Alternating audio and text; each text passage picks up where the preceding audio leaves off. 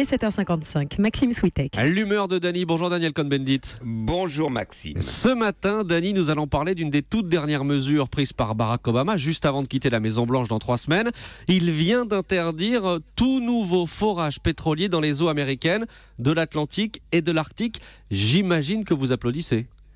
Et oui, oui, euh, Maxime, il faut quand même avoir en tête l'immensité euh, de ce que vient de décider Barack Obama. Ça va de la Virginie jusqu'au Maine, donc toute la côte, les deux tiers de la côte est des États-Unis, et puis 46 millions d'hectares euh, dans l'Arctique. Donc, c'est des hectares qui sont, euh, disons, que possède l'État fédéral américain. Oui, la protection, disons, de zones naturelles oui, qui va, qui est très forte, et puis la sauvegarde d'ours polaires, de baleines euh, boréales. Bref, Barack Obama a tapé un grand coup qui est dans la continuation d'ailleurs de ce qu'il avait décidé avant. C'est une très très très bonne nouvelle, d'autant plus que c'est une décision qui va de pair avec une décision du Premier ministre canadien Justin Trudeau qui lui aussi interdit les forages dans euh, l'espace de l'Arctique. Et alors, est-ce que cette interdiction est au diapason de ce qu'a fait Obama pendant 8 ans à la Maison-Blanche? Est-ce qu'il a été un bon président écolo?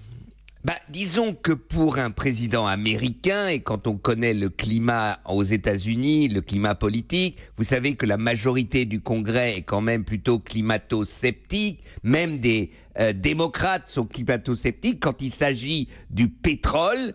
Euh, et donc les lobbies pétroliers, gaziers, les lobbies énergétiques sont très forts. Et Barack Obama a dû batailler par ordonnance contre le Congrès pour permettre à l'Agence de protection de l'environnement euh, d'aller, de, réaliser son plan climat qui est très important puisque c'était une des clés du succès de la COP 21 à Paris. Donc son climat est plutôt positif et très positif, même si, je l'avoue, les gaz de schiste, il ne les a pas interdits mais ce sont dans des zones qui ne sont pas comparables euh, à la France, ce qui a été proposé ou ce qui avait été cherché en France, et qu'il est pro-nucléaire. Ça, c'est vrai que ça reste un débat.